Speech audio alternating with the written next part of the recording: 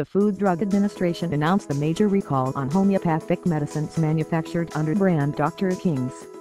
The recall decision made after the drug manufacturer received warning notice from FDA for potential microbial contamination from the manufacturing site. According to a warning notice from FDA, consumers must recognize the Dr. King's products and expose the recalled products. Although it might pose additional safety risks, these products can be health hazardous for people. The drug recall isn't first time for North Carolina-based drug company. Nearly 600 water-based products recalled, as the products offering relief and treatment for conditions from acne to restless leg syndrome, as well as children's products to treat flu symptoms, reduce fever, and aid sleep and pet products targeting joint, muscle, teeth, and gum health.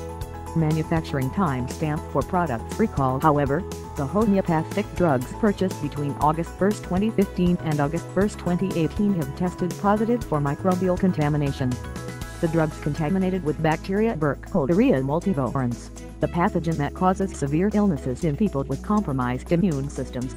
The rare but emerging cause of meningitis.